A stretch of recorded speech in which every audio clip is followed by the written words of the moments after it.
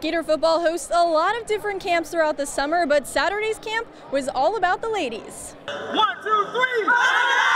Florida hosted its ladies football clinic, teaching hundreds of Gator fans the fundamentals of Gator football. They started off the day by meeting players and staff, learned from coaches, toured the facilities, then stepped on the gridiron for drills. You know, we get kind of so caught up in, in, in just in, in football and, and developing the guys 24 7. All the ladies come and you see the energy they bring, the excitement they have, the passion they have for Gator football. So it's contagious and it's infectious. And it, I mean, it, it, we have a lot of fun as coaches this day.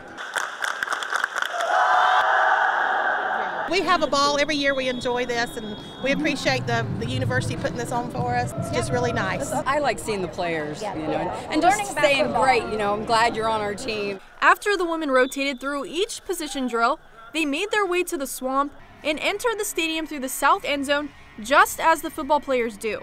In Gainesville, Megan Plain, CBS 4 Sports.